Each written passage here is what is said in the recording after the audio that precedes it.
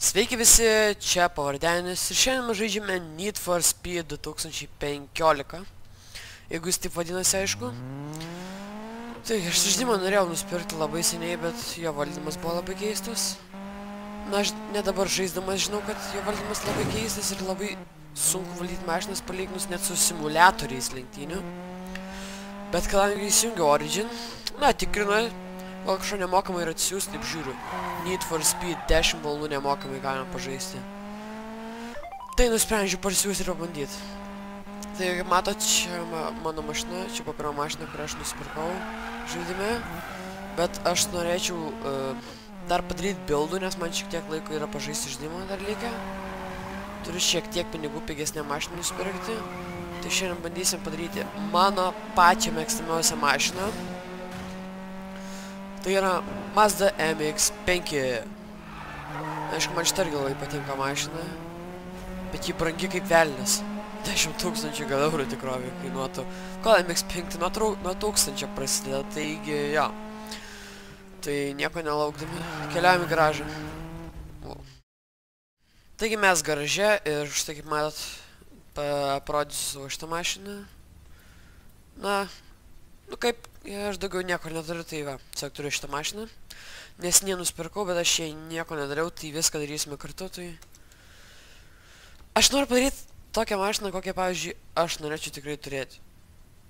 Jeigu nusipirkčiau. Taigi, ko čia turim? Wow, šitas bumperis gražiai atrodo, bet aš nežinau, ar aš tokį norėčiau turėti. Šitą iš viso išpjauta, tai nelabai gražu. Ir čia ne. Manau, aš norėčiau mm, turėti su... Kaipgi.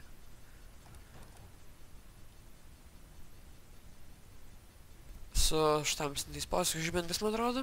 Man gražiai atrodo. Splitter.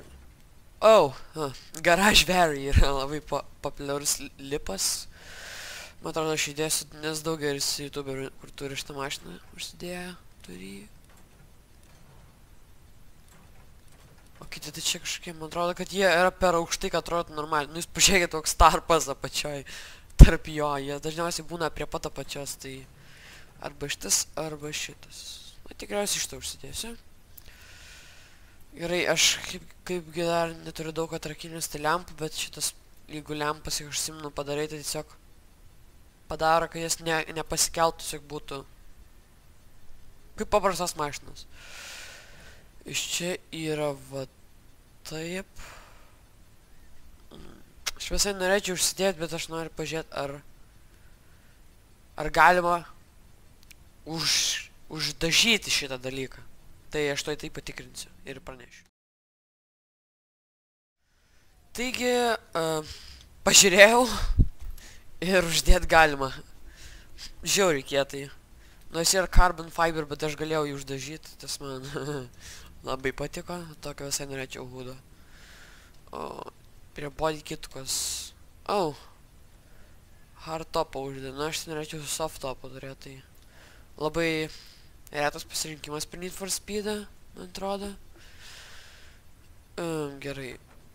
Aš kaip ir white body nenoriu, bet aš Noriu kažko tokio labiau platesnio. Kuo čia skiriasi nuo pirmo, pavyzdžiui? Oh, shit. Visas gražiai atrodo, aš noriu pažiūrėti. Iš šono. Man atrodo, man patinka, bet kažkaip su bumperiu nesueina. Ir dabar ne... Ai va. Šitaip. Gal aš uždė... Nežinau. Pagalvosim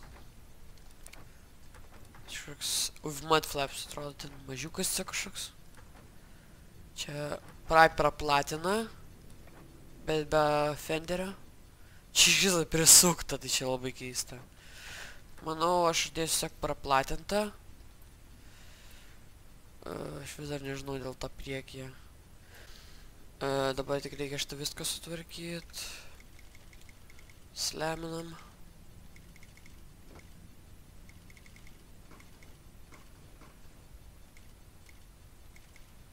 Jo. Gal irgi panašiai. Gerai, dabar tik ratus reikia. E, ratai, gerai. Norėčiau, jau žinau ką. Vatanabę norėčiau užsidėti. Kur va.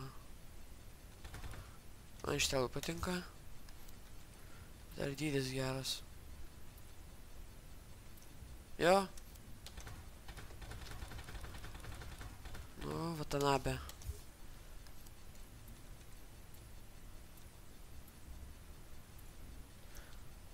Atrodo.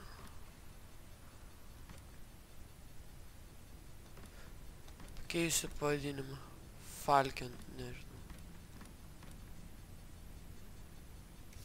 Strečą uždėsiu. Vis tiek labai mažai išstrečinta čia tai.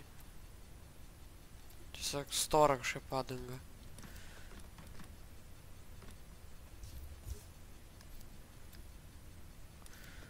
Dydį gal reikia vienu kokią padidinti.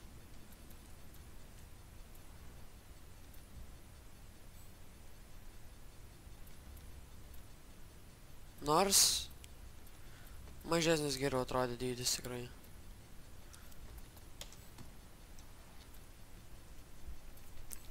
Spalva.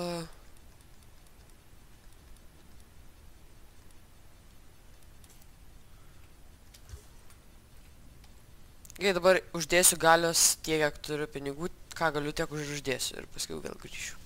Taigi ištobulinom tiek, kiek aš turėjau pinigų, na ne pinigų, tiek kiek turėjau atsirakinės. Tai galų gale darome 300, gauname 334 arklio kalės, kas yra labai gerai tokiai mašinai, dažniausiai jos turi vos vos mažiau iki 300 e, atlaiko, paprasti varikliai jų. E, bet vis dar mums reikia handlingą patiuninti. Tai aš norėčiau, kad šitą mašiną truputėlį driftintų, tai... Jo. Gerai.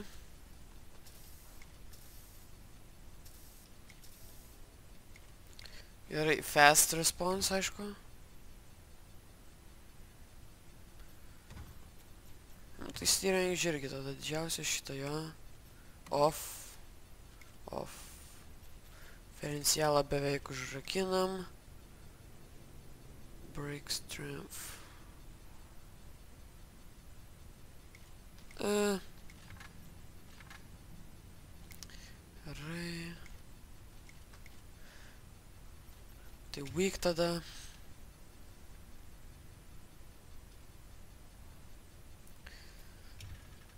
Mm, stiff. Nu, jeigu norim uždirbtinti, reikia tokio, kad užmestų labai jau. Uh, nitro tai...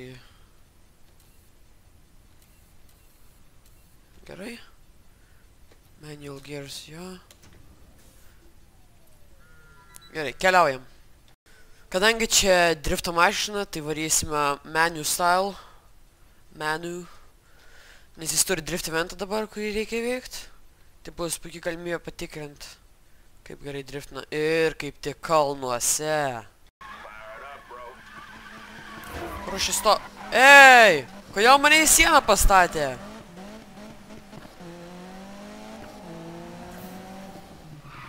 Ir aš ne į tą pusę važiuoju.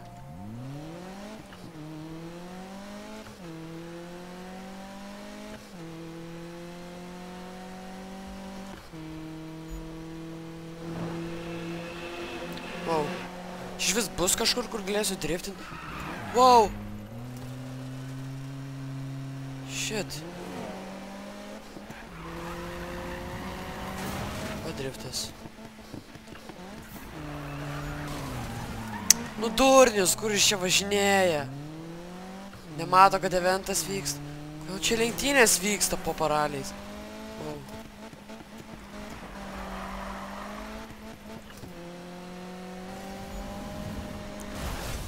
Nu duriai, kodėl čia vyksta eventas? Ai, per nuo pradėsiu. Gerai, pagaliau ramybė ir pagaliau kažkuo šitą pusę atsisukęs.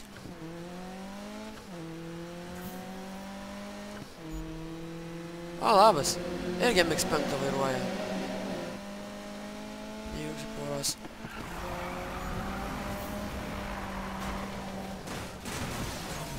Fuck. Truputėlį čia visur maišosi. Ramykit.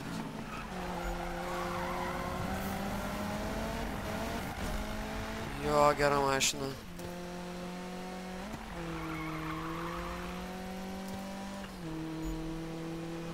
Manau, greičiau važiuok, lėtas kažkoks. Esi. Šiaip ir kelias. Mane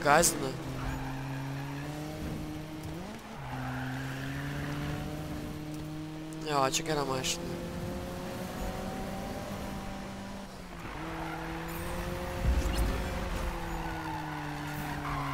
Au. Au.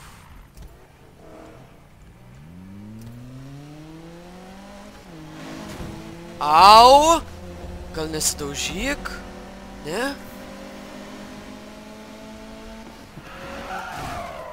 Au, varė, varė. Važiuok, važiuok. Važiuos vėl kažkas ir nudauž, nebus linksma.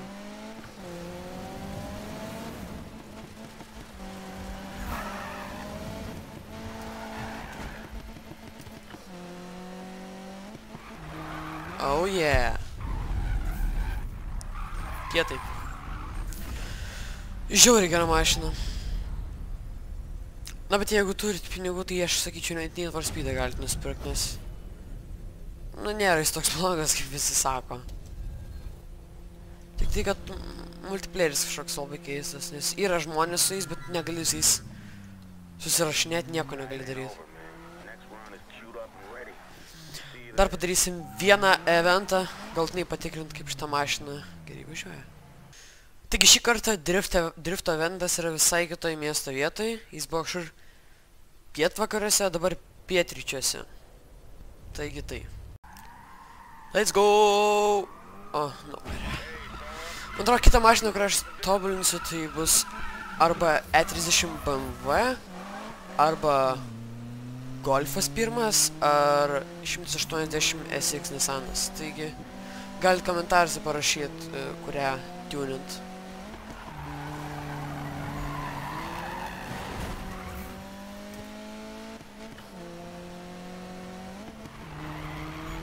Manau, traukis, tu viską gadini. Visiškai iššūks nemoka. Iš tiek kažkokie lėti baisiausiai. Manu, viską gadini. Na, taškus visi nori pra pradanginti ir tiek. Reikia aplenkti juos. Wow. Traukitės! Kai nervina. Bet šitą mašiną tikrai gerai driftina. Jeigu tik jie galėtų normaliai važinėti ir nesidaužyti, tas būtų labai linksma.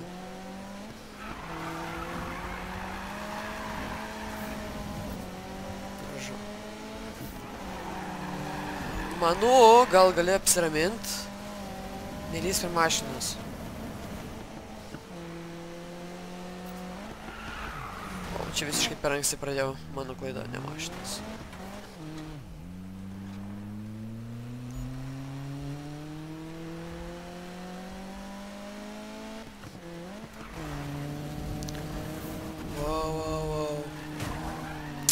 Come on, really?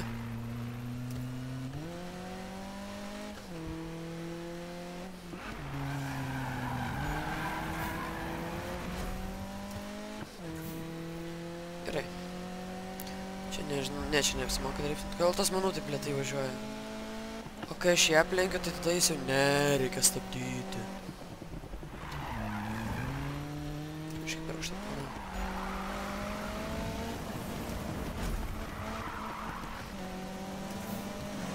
Ar reikia didesnio greičio? Traukis. Nereikia jūsų.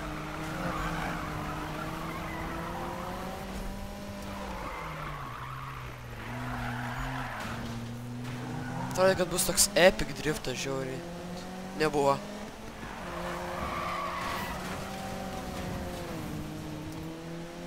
Šimtas kei, o jie dar net neturi pusę tiek, kiek aš tai mašina. Fuck off. Aš manau, kopijuojasi, mane irgi MX5 turi.